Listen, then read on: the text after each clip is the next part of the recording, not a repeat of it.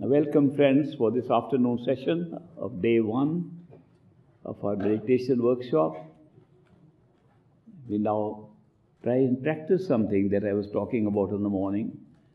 Step one of good meditation is to go realize our inner self, which will then start meditation. First thing is to realize that we have an inner self which has the same self as we are experiencing now, which has same sense perceptions that we have now, in, in fact, better perceptions, has the same thinking power that we have, and the same life and same feeling of self, identification of the self as we have now. If we can feel that inside our head, then we'll uh, be ready to meditate. So let's prepare ourselves for meditation. And the step is very simple that we close our eyes and imagine that in the darkness we see, we are sitting in the head. The head has to be assumed that there is eyes in front, the ears on the side. There's the top of the head, the throat is below us. This is the portion of the head we are thinking of. And we are seated on a chair, like you're seated on chairs here, or on the ground, if you like to sit on the ground, right behind the eyes. And you are looking in front. If you can do that, that is a good beginning. You do not have to continuously think of the head. Once you have focused yourself there and imagine you are sitting there. After that, do not continuously keep on thinking of the head. Think of yourself. Think of who is sitting there. Think of who are you. What do you look like? Look at your hands. These hands are outside. Nothing to move on this outer body. All the movement to take place of the inner self. All the actions, activity of the inner self. So let's practice this for a little while. So please close your eyes. Keep seated where you are. Do not move too much in the physical body so that you do not draw your attention back. Put your whole attention on imagining yourself behind the eyes. To, to be more sure, to start with, feel that you are as far behind the eyes as your ears are. That means if you draw two lines behind the eyes, draw one line between the ear, that place is where you imagine you are sitting. It's only imagination. There's no, no pressure to be put on the eyes, no pressure to put on the head. It's not a physical exercise at all. Do not make it a physical exercise by trying to focus on the eyes or something. Nothing. Just close your eyes and feel you are between the ears and experience that imaginative self. And then I will tell you what to do. So close your eyes and seat yourself at what I will now start calling the third eye center. So close your eyes and go to the third eye center.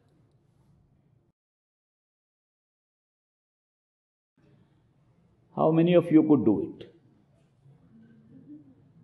How many of you had a problem doing it? It looks like most of you were able to do it. That's very, I'm very happy. The meditation is to be done by the self you just saw, your form. That's the form that is supposed to do meditation if you want to withdraw your attention from the physical body and the physical world. It's very important. Let us see if you can do more with it in this second practice. In this practice, you will go back inside and after you've established yourself at the center, you forget the head. Don't keep on thinking of the head. It's only the beginning that you have to focus that you are the head. Once you know who you are, the imaginative self sitting there, standing, stepping on each side, once you do that, do not, do not have to come again and again to think where is the head. Unless your mind goes outside into the physical world again, then you have to pull back again to the head. But if you are functioning within that space, After you feel you are there, you can forget about where you are. Don't have to worry about the center or worry about where the third eye center is, where the eyes are, where the ears are. That's only in the beginning. If you keep on thinking, am I the, between the eyes and the ears and the all that, you remain in the physical body. It's only to start that we establish ourselves there. Once you feel you are that and can do all these things, you can do a lot more. And eh, only when you think, where have I parked my car? What have I left behind? Is something happening and at home physically? Then you lose the place. Third eye center stays with you so long as you start from there and forget about the body, forget about the head. You stop. Every activity, even flying a thousand million miles away, will still be in the third eye center. All activities will be there. But if you start focusing once again on the head, you're back in the physical body. Let's do the next exercise. I hope you like it. Flying in the sky. How many of you like to fly? Oh, that's a good number. Let's go back. Third eye center. Close your eyes. Imagine you are in the center.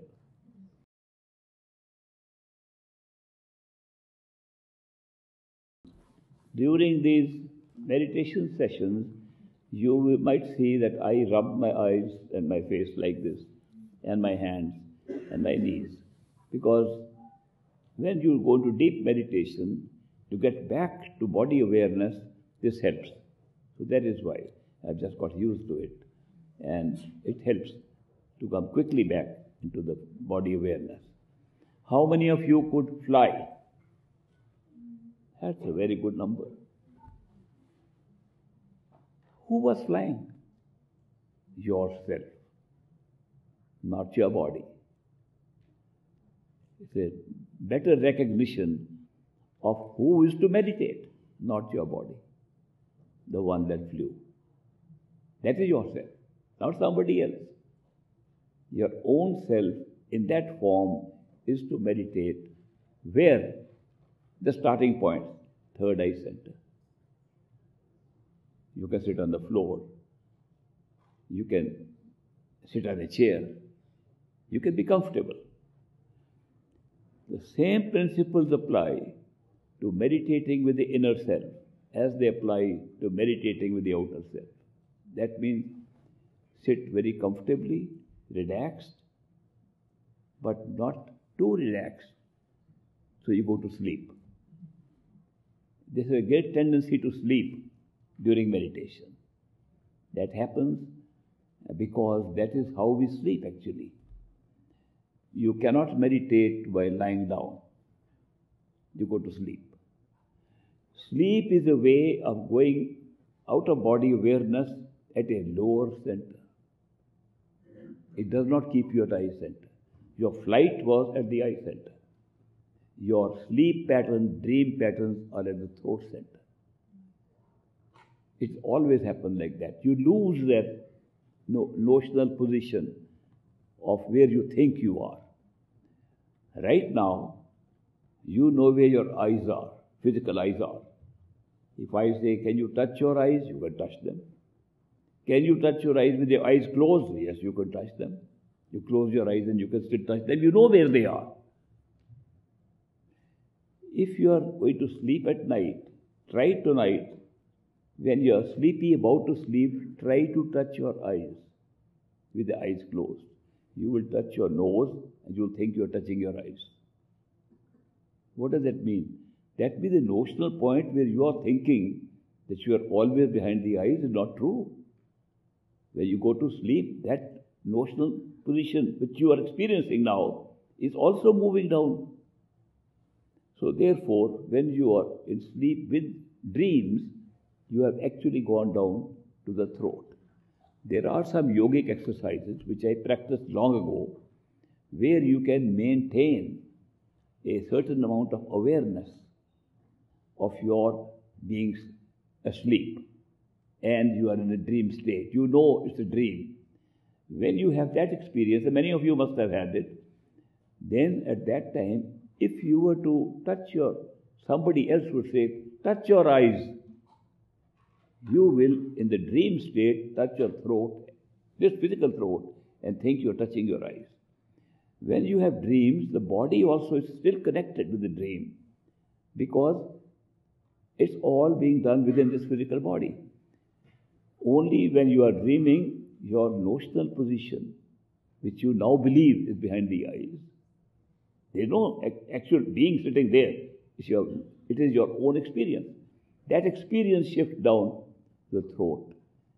When you cross that and go into deep sleep and there's no dream, then you go even further down and you can go as far as the heart center. This is every night we are all doing it. By yogic practice, we can do it deliberately and keep a volition on it, our control on it. But without control, we are all doing it.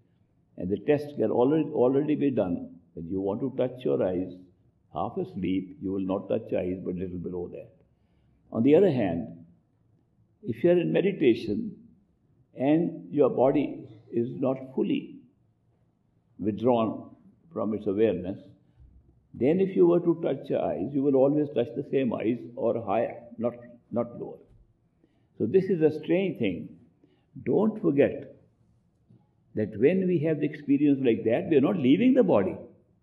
We're still in the same body. It's, a, it's an amazing wonder that we can experience what would happen when we die, when we actually leave the body. The same thing can be experienced without leaving the body. So, meditation is a possibility to let us have an experience of dying while living. That is why we can have an entire experience. What would happen if we were to die and withdraw attention from the body and leave the body behind? But in meditation, we get the same experience without leaving the body behind, only withdrawing the awareness of the body and therefore awareness of the world. So it's a very wonderful method that we have been given that we can experience death while we are still living and continue to live. You will notice that even if a complete withdrawal of the self, complete awareness is gone, you don't know where the body is. You are flying somewhere. Now, when you were flying, right now, you did not know where the physical body was. Maybe little awareness might have crept in to show you you're doing experiment only. If you are regular meditators, you will completely forget where the body is. When you fly back into the third eye center, the body awareness starts coming up, and you can open your eyes and feel you are also here. The heart functions normally. Your breathing goes on normally. All vital signs continue normally. Which they all collapse during physical death. But during this experience, the experience is identical, but the vital signs continue in the same way. This is all happening because just like we have energy centers below the eyes, which maintain all energetic efforts of the body, we have awareness centers behind the eyes and above the eyes. Awareness centers are different from the energy centers. They increase our awareness of our inner self. It's the awareness centers we are opening up we are not actually leaving the body, but having experiences which would happen if you were to leave the body physically. So, uh, if you are able to maintain that and have more experiences of the inner self, you will find that that is exactly what happens when you die. And with practice, you can lose complete fear. You can lose the fear of death completely. Because you will know what happens when you die. That exactly will happen what you can practice through meditation. So I'm very glad so many of you are able to do this. Now, to meditate, you can use the method of meditation taught to you. Now you can even use other methods like repetition of words, repetition of mantra. I was virtually throwing it out in the morning and bringing it back in because it has to be done not by the tongue, but by the inner self, which just flew out, which just sat in their head. That self has to now repeat the words. What is the purpose of repeating words? Is it really that there are magical words which will take us somewhere else? Not really. Purpose of repeating words is to occupy the mind with those words, put attention on the words, so mind is not given enough time to think of other things. Mind thinks in words. Mind thinks in images. All the thoughts that we have are in our language, in words. We're continuously thinking. We are thinking 24 7. The mind is thinking all the time. When you repeat words with the inner self, the mind picks up repeating the word. You are removing yourself from the physical tongue, and therefore you are giving less scope to the mind to think of outside things. Nothing will be a problem in your meditation except the mind started thinking of other things outside. And that happens mainly because of our attachments.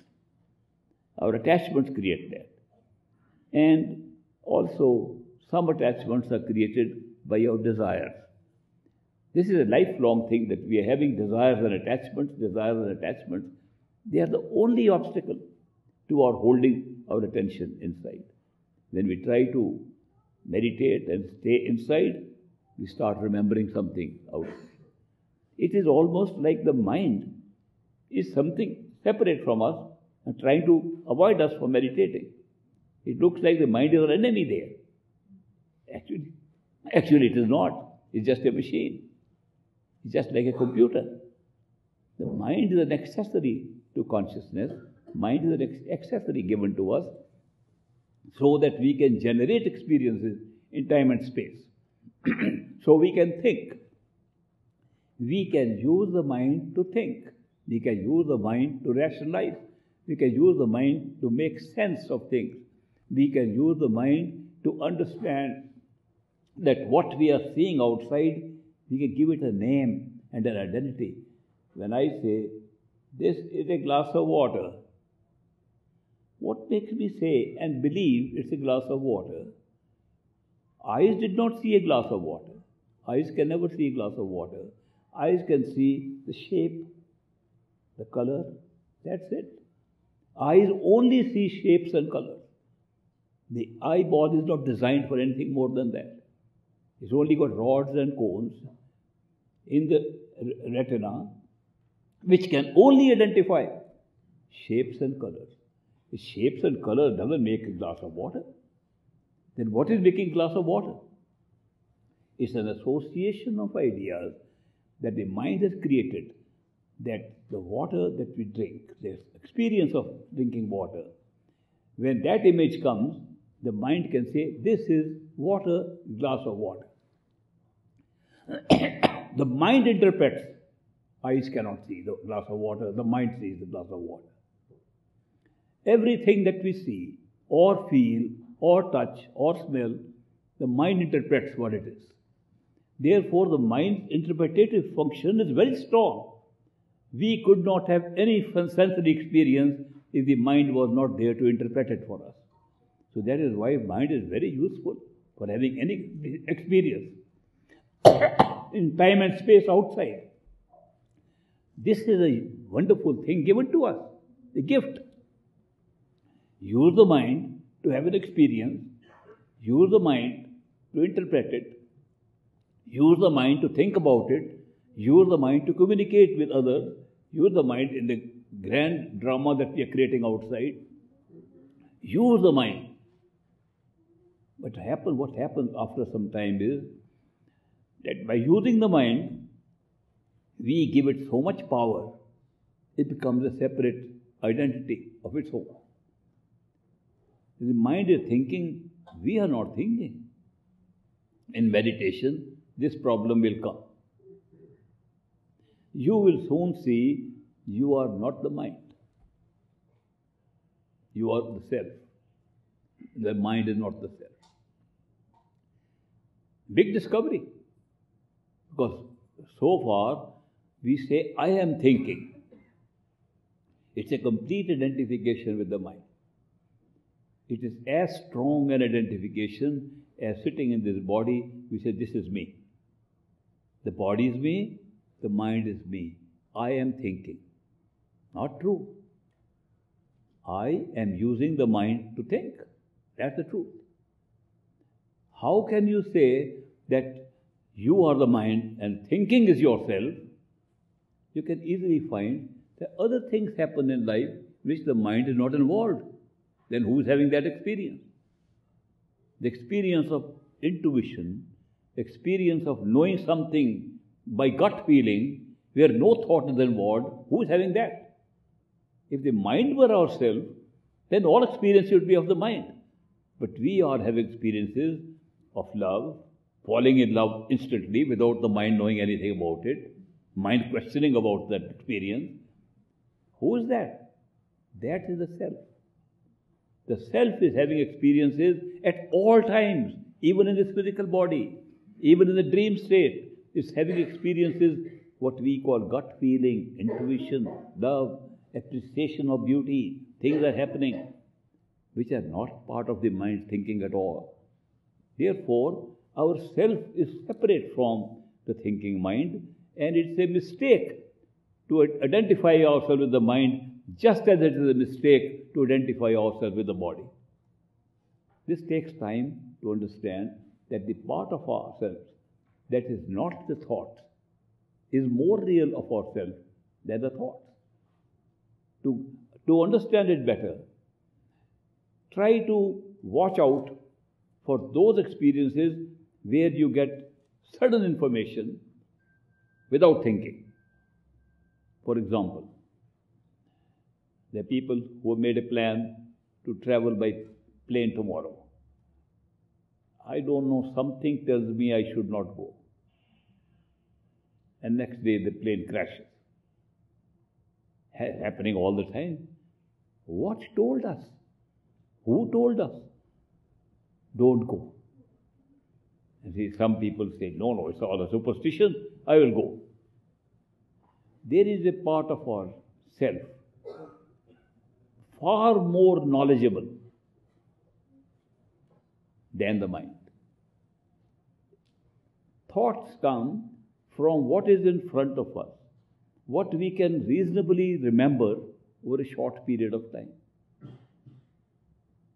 We say, I think I should do this. Next day, oh, I should have thought more. I made a mistake. We do that all the time because the spectrum of information, data we have to use the mind is very limited. We can't remember everything all the time. Yet, the self can remember everything all the time. Intuition does not come from the small spectrum of data that the mind is using, it comes from all or several lifetimes. If you go and study these things inside, deeper meditation, in deeper meditation, you can go and actually study the mind, how it is working. And then you will, of course, know you are separate from it. So that is why many of these things that we are experiencing every day have created problems for us by the mind being given an identity of its own, and the mind we say we are the self, the mind. We first make the mind an independent entity, is thinking, thinking, so we think that's the that's the being. And then we identify I am that being. Big mistake. Separate yourself from the mind. I'll tell you simple trick to do that. If you were to go back to the inner self and do nothing, sit there and watch your mind. Don't think of anything. Just watch the thoughts coming. You will know you are not the thinker. You can watch your thoughts independent of yourself. Would you like to do that? Let's do it now. Let's go back. Let's see if we can watch our mind and understand we are not the mind. Another part of the meditation exercise that will help you in deeper meditation. So go back, close your eyes, go back to the center of the head.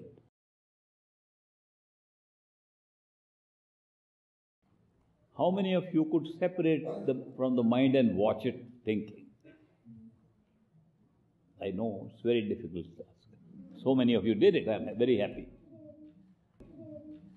our identification with the mind is so strong, we have begun to believe we are the mind. That has caused more problem than anything else. Because the mind is a very big troublemaker. And when we say we are the mind, we have become troublemakers for ourselves. If we understand the mind is not ourselves, we are merely watching the mind at work, what will happen? We know what the mind is, a useful thing. Let us say thinking. Do we think what we want to think? Or does the mind decide what to think? If you look at our life, the mind was given so we could use it to think what we want to think. Now, what's actually happening? Thinking is going on ourselves, and we say, Yes, that is me, that's me. That's a big problem. We have a will. People talk of will. Willpower. You must have heard, he has strong willpower. When we have willpower, what, whose will is it? Is it the will of the self, our self, or the will of our mind? We all have two wills. We have a mental will, which is giving the power to will to the mind, and we have a spiritual will, which belongs to the spirit, to ourselves. The spiritual will is expressed when we have an intuitive feeling of something when we have intuition of anything, when we tell the mind to follow what the intuition says, we are exercising spiritual will. When the mind wants to follow its own will, then we are caught up in the mental will. We are all using mental will all the time and ignoring the spiritual will. When the intuitive flash comes into our head, the mind argues, no, no, no, no, that is just an idea, forget it. We listen to the mind. Can you imagine that a machine given to us to use is an organic machine? It's a machine of a stuff of thoughts, thoughts, images, just built into our consciousness, built into our awareness. And we have become the slaves of that machine. Whatever that machine says, yes, uh, what would happen to this physical world if everybody just followed these computers? Whatever computer says, we do it. We'll become slaves of a machine. We are already slaves of a machine by following a computer we call the mind. It functions like a computer, not very different. So that is why we have to reverse this position. We have to use the mind, not get used by it or most of our life is being getting used by the mind. Mind tells us what to do. Thoughts tell us what to do. What the next step should be. Thoughts analyze what are the options available, which one should I follow. And we just blindly follow. We should develop our intuitive will, our spiritual will. Not difficult. I'll give you a very simple way to develop intellectual or spiritual will as against intellectual or mental will. Learn to say no to the mind. Not every day, not all the time. Three, four times a week. That should not be difficult. Say no to the mind when the mind wants something the most. Mind says, I must have it. Say no. Mind says only once, no. Mind says never again, say no. If you can do that only three, four times a week, you will find that the one who is saying no to the mind who is wanting something so much is yourself. There's nobody else there except yourself and your mind. In this thinking process, nobody else is there. Therefore, your ability to say no to your mind when the mind wants something very badly develops your spiritual will. It develops your inner will of the self, or real self. Otherwise, we are consistently going with the mind says. And people who are meditating for a long time, Many years they come to me, we can't control our mind. Of course, we can't control our mind. We are almost identified with it. We are thinking mind is ourself. How will you control it? You have to separate yourself from the mind. Have the ability to say no to the mind. Mind speaks to us all the time. It's not something that we have to search for or look for where it is. When you, as soon as you close your eyes, you can hear the mind speaking. Thoughts go on all the time. There was a friend of mine who said his guru taught him how to still the mind. That the real secret is to still the mind, to go into a thoughtless state. Now, my experience is very different. My experience is if you still the mind, you'll die. Mind will die if it doesn't stop thinking. The body dies when it stops breathing and stops having a heartbeat. You can hold it for a little while, then it goes. You might hold it for a few minutes. Very few people are able to hold a straight line of the heart and still survive and give us near death experiences, tell us. Nobody is held up for half an hour one hour or something. So when that friend told me he has been practicing it for a long time, and he can still his mind, which means he can stop thinking, it was something very big for me. I said, I would like to have a demonstration of it. This happened at Harvard University. I was in an apartment and he was living in another apartment. I requested him to come and demonstrate to me what, how he has learned how to stop thinking. That would be a very big thing if you can still be alive and stop thinking. He said, books, books tell us, still your mind. Do this. It's the quietness of the mind. When you're quiet, you get enlightenment. All those big words he used. I said, stop the words, tell me how to stop thinking. And he came to my apartment. He said, you have to follow a certain asana. That means a certain position of the body. Lotus position and then takes up arm somewhere. I said, do that when you're ready. When you are ready to stop thinking, it's a very short experiment. How long can you stop thinking? He said, an hour, half an hour. I said, if you can stop thinking for one minute, I believe you can stop thinking forever. Let's experiment for one hour. So he got into the regular position which his guru had taught him. And I said, to measure that period, I will give you a clap like this. Stop thinking. After one minute, 60 seconds, I'll give you a second clap. You can start thinking. Then we will know what happens to consciousness, what happens to awareness when you're not thinking at all. It must be a very strange kind of experience. He said, All right. So he got into his proper asana and I looked at my watch and gave him a clap. I kept looking at my watch 60 seconds passed, give a clap. I said, Did you stop thinking between those two claps?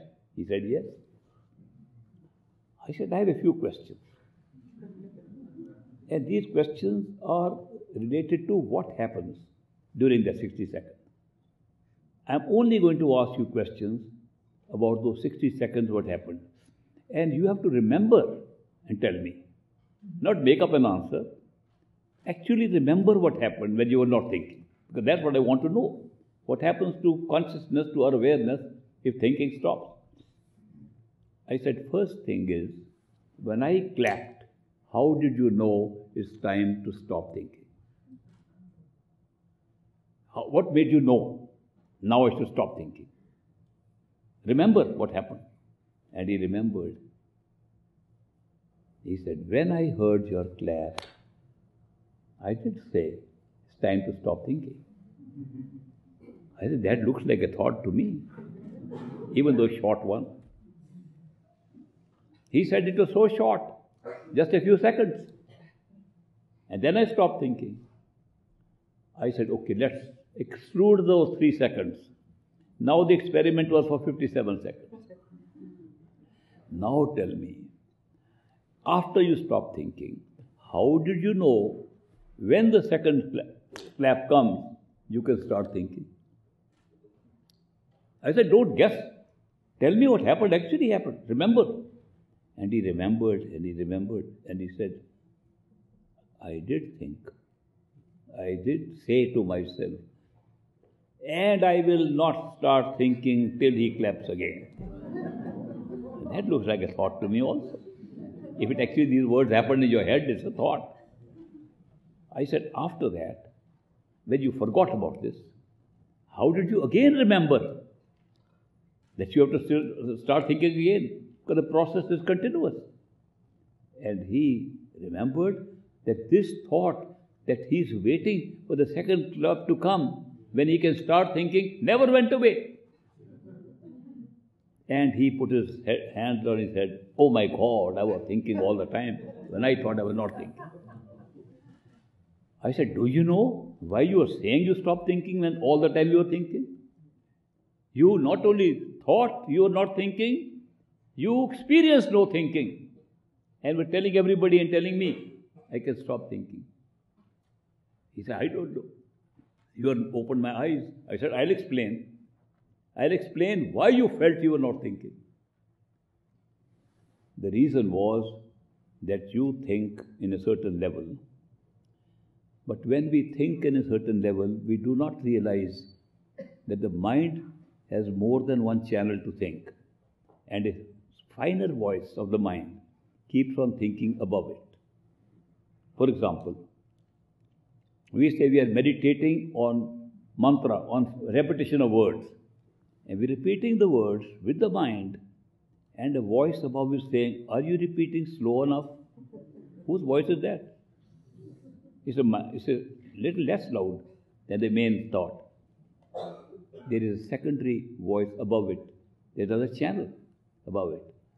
Not only that, a third channel can be discovered if you are clever enough to watch. His Holiness Dalai Lama came to India as a refugee. As it happened, the government decided that he'll be housed where I was working as the district officer. So it was a privilege for me to receive this holy man from Tibet coming. So when he came, I, I arranged housing for him in Dharamsala in India, and I took care. We became friends. And I had a Land Rover. He used to love to have a ride with me. He began to learn a little bit of English and Indian language so we could communicate. And this is the subject I would discuss with him. He had two tutors with him teaching him meditation, a young man.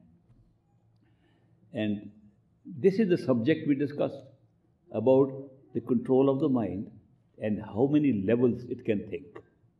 And he had realized you can have up to five, six, eight levels of thought. Thoughts never stop. They go from one jump from one channel to another. When one is stopped, we think we have stopped. It goes to another channel. You can easily watch yourself. How many levels are there? Supposing you block all levels, then an image appears that somebody else is thinking. An image in front. It's also your mind. Mind never stops thinking. But this shifting from one to another level with a different sound of the thought, different feeble sound of the thought. You can imagine, you can try it out, how the mind thinks in so many channels. I told my friend that's all that happened. There's a normal channel you blocked. The mind jumped to another level. What you were saying, this will be the time to start thinking again, was not in the same channel of thought which are used to. It's a higher channel. The mind never stops thinking. Then what's the meaning of saying stillness of mind? Why are they recommending stillness of mind and you have to quieten your mind and be quiet and all that? This is a message for us that you can ignore the mind. Be yourself, ignore the mind. Mind is thinking. You can ignore it. You can occupy yourself with something else, like watching the show, like doing something else, not thinking. Ignoring the mind is possible. Stopping the mind, not possible. So let's be practical about it. That if the mind wants to think something, Use your intuitive will, the will of the self. You do your job, I'll do mine. You can do more easily if you have practiced separating yourself from the mind. So that is why very important exercise to achieve success in meditation, to separate yourself from a machine that's thinking in us, very useful, and use it to think. Whatever you want to think, put the mind to think there. You use intuition to make your decisions in life and use the mind to implement them. See how your life will change. So simple. If you are using the mind with limited knowledge and tomorrow it says, I, I made a mistake, Oh, sorry, I didn't know this can happen, I didn't know enough. Instead of relying on that kind of an instrument, use your own instrument of your own self which knows everything. Intuition is coming from a different source, from your own self. Therefore, a change in your lifestyle of using intuition for decision making and using the mind to implement those decisions will make it much easier for you to be successful in meditation and withdrawing insight. Because then you will know the mind will not be interfering so much in your meditation as it is doing now. That is why I give importance to this aspect of meditation the ability to separate yourself from the mind. Now, let me explain that what are we trying to achieve and why are we doing it? We are doing it because we are unhappy. If you are happy, don't do it. If you are always happy, you don't need to do it. I have not met any person like that, except those who are meditating and going within. Therefore, there must be a reason how, by going within, you can be happy, and by staying outside, you are unhappy. The reason everybody looking for happiness. And sometimes we are happy, sometimes the little pleasures we get make us happy. Sometimes win a lottery and we are very happy. Then when the people file lawsuits against us, then we are unhappy. Sometimes we are happy, we had a good meal. When we indigestion comes, we are unhappy. all these things happen all the time. The reason for that is the experience that is built here in the physical world and the astral world of imagination and the causal world of the mental self. These are just words we are using the physical world, the astral world, the causal world. Why are we using these words? Because the physical experience consists of matter, molecules, atoms. These. We are made up of that physical world. It's an experience. Science says, very interesting thing.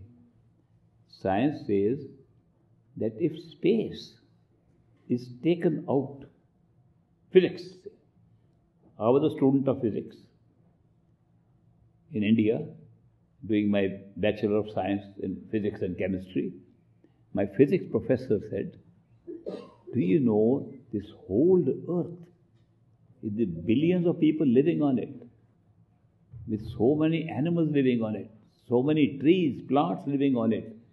If the space is taken out, it will become like a football. How is that possible? His explanation was that everything is created by atoms. And atoms are nothing but electrons and nuclei, protons, neutrons. They are moving, moving in space. The electrons move away from the, from the center in an orbit like this. And if space is taken away, they collapse. If they collapse, if all of the space that we have between atoms collapses, he'll be football. Many years later, I came to Harvard University, and the professor of physics was explaining if space is taken out, it will become not a football, but a marble. Today they say if space is taken out, it will be so small, it will be a black hole, there will be nothing within. Then who are we? Are we all space? Apparently, we are. Apparently, we are electrons flowing around nucleus which are causing all atoms to be made, all physicality to be made, and we are nothing but space. A particular master, a guru, who has a big following, had a had a disciple who was holding a high office in the government. I was also holding a similar office in government. That disciple used to come to me to discuss spiritual matters. And he used to say, Let us charge our battery. Uh, by discussing spirituality, we charge our battery. He would come to charge battery. And then he said, I want my master to meet you. I said, I have my master, Baba Sawan Singh, and uh, I'm very happy. I'm not looking for too many masters. I've seen many masters already before I accepted him as a final master. He said, No, uh, my master is keen to see you.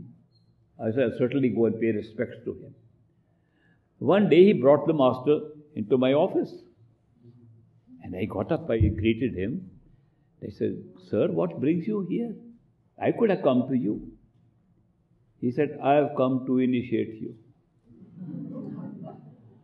I said, Sir, I am already initiated by another master, Baba Sawan Singh, great master. He said, That was no initiation. He must have told you, meditate all your life, at the end you'll find something. I show you God, the Creator, right at the time of initiation. I'll initiate you, you will see God right now. I said, I'm not in a hurry, you know. I'm a very patient person.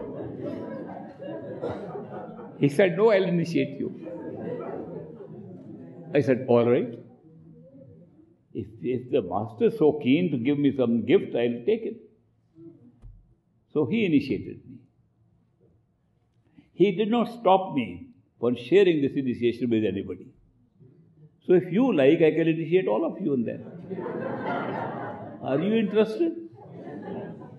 Those who want to be initiation to see God instantly, please raise your hand. Not many are volunteers for this. No, you won't die.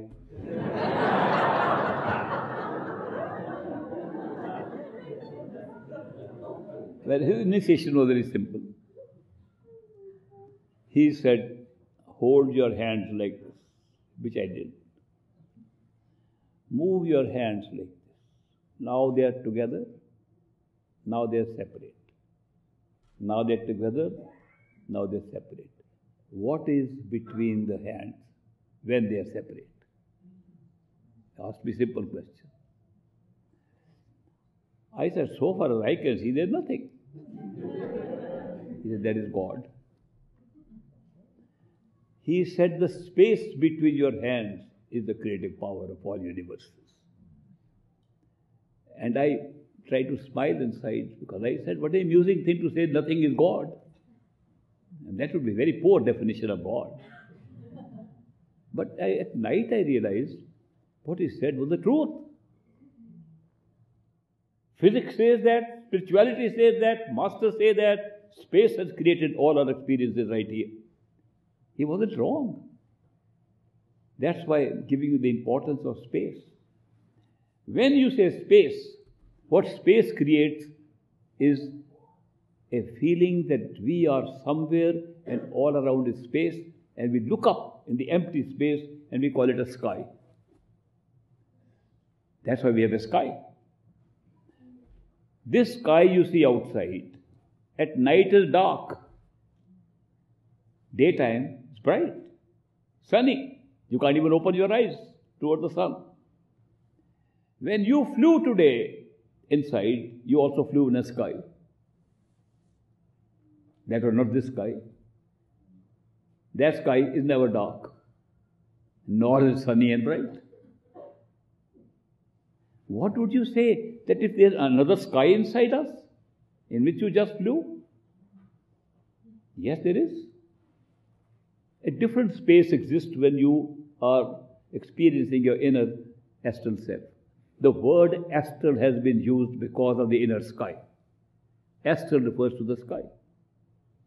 So when we say astral body, that body that flew is the astral body.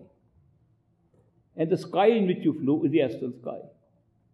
If we can stay in that state and explore it, you'll see that you can fly as far as you like in a universe that sometimes looks the same as this universe and sometimes looks very different. How is it happening that you can have such an experience? The reason is that the space that creates this physical universe overlaps the space that is created by the inner universe. Both are skies. When you have an infinite sky, in every direction in the physical plane, in physical matter, if you look in every direction, the space is infinite. It's not a definite number at all. If it is infinite in every direction, what would be the shape of the space? It would be a big, huge sphere, infinite sphere. I'm drawing a model that's not correct because it's too limited. Will be unlimited sphere. Can I make a bigger sky than that if it's already infinite? Actually, I can. The inner sky is more infinitely bigger than this one. How does that happen? How is it possible that infinity means completely without limit? And how can there be bigger infinity and a smaller infinity? The secret lies in the fact that when we say infinite, nobody can go to infinity ever. There is a limitation up to which you can go even in thoughts, even physically. They limit how far you can go, and when you stop, it becomes the limit of your infinity. The infinity to which you can try and go in this physical space is limited by your capacity to go. And that becomes virtually a limit of that infinity. The capacity to go beyond that makes it a larger infinity, and that happens in the inner sky. The inner sky, also another sphere. Physical sky, also sphere. Then there is a third sky. When we meditate with the inner self, and withdraw attention from that self. Very big, important next step. That when we can withdraw attention from this body and find an astral self, a self that has sense perception, self that can fly, self that can do everything that the body can do, what about meditating in the head of the inner self and opening up another sky? That sky which you open up by withdrawing attention from the inner self is a different sky. It is, it is a much larger sky than even the inner sky. The limits have gone beyond because the capacity to go into that infinity is increased by flying through it. There is a color of the sky. This color of the sky here it's blue, bluish color because it comes, the blue color can come in different ways. Not a reflection of the ocean or something, some people think. But the inner sky has a different twilight zone, like a twilight sky. It's neither too bright nor too dark. There's no night. There's no night time there. So it's different. The sky beyond that, the third sky, you can go and have experience through meditating from the inner self in the inner head is bright golden sky. People accidentally sometimes see, tell me, I saw golden sky. I said it was just a pull that your consciousness happened to go there. It, if you have seen a setting sun, sun in the sky up, you can't see, it's too bright. But when it goes to the horizon and starts setting, we can see the beauty of the golden orange colored sky. If you stretch that setting sun and stretch it, make it the sky, that's the third sky you can get into. We call it the causal plane of experience because it's that sky, the golden sky, which is responsible for creating the space and time of all the three regions. When you can study that golden sky, you get to know about these also. Now, this is not a uh, intellectual setup that I'm suggesting. These are experiences you can have. First experience, like you did today, withdraw your attention from the physical body and go to the inner self, which is nothing more than the sense perceptions intact. The sense perceptions are the astral body. They no separate body. The same body which has physical matter in it, when you withdraw, physical matter is left behind and the sensory systems operate. When you go to the next one, sensory systems are dropped. Perception takes place without sensory perception. You will be surprised that perception does not require sensory systems. You don't need sense perception to, for perception. We normally perceive something with the mind, and it's different that the same perception can be divided into seeing, touching, tasting, smelling. When you cross the second sky, sky to the third sky, your perception becomes immediate. And you realize it's only for the sake of, sake of experience that the perception has been divided into sense perceptions. Very big experience, That's sky. So the causal sky, that orange golden sky, much more infinite.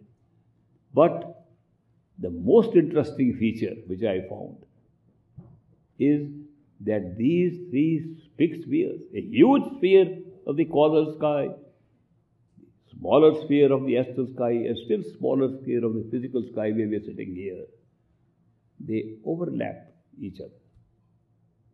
When two spheres overlap, if you imagine a sphere of, of space, there, there's no matter, but space only. Space is very tough, much more tough than any matter. That's why we can send radio signals through space, which we can't send through matter. It's very dense in that sense. This space that we have here overlaps the space. Now you imagine a circle like this and next circle overlapping it. Third circle overlapping that one. This looks like a small fish with the overlap. With the second overlap is looks like a bigger fish. The whole of creation can be explained as consisting of the skies and two fish. And I, when I read in the Bible, Jesus Christ gave two fish to 5,000 or 50,000 people. And people are telling me must have cut them into small pieces, and taken from the pond. How far away from truth can you go?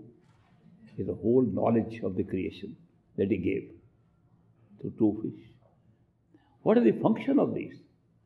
The function is that while we are the physical being here, we can also be in the astral being. Like we can do through meditation. We are still sitting here and we can have an experience in the astral plane because of the overlap. What happens when a person dies?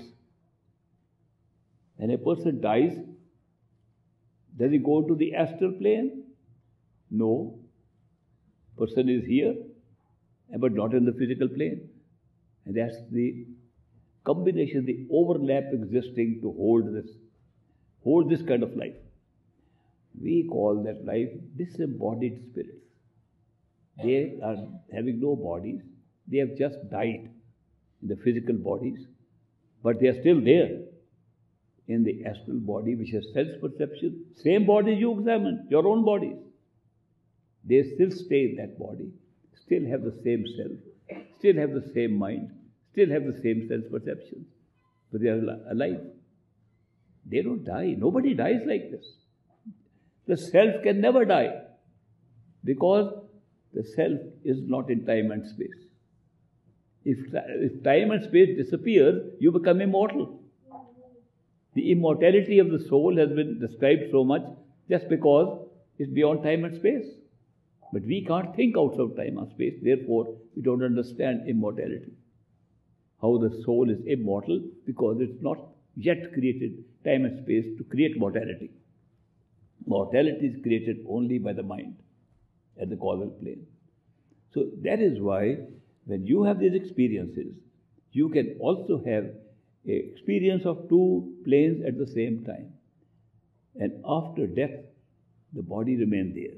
Therefore, people say, I feel the presence of my mother, she died, but I think she's still in the house. My house is haunted by spirits.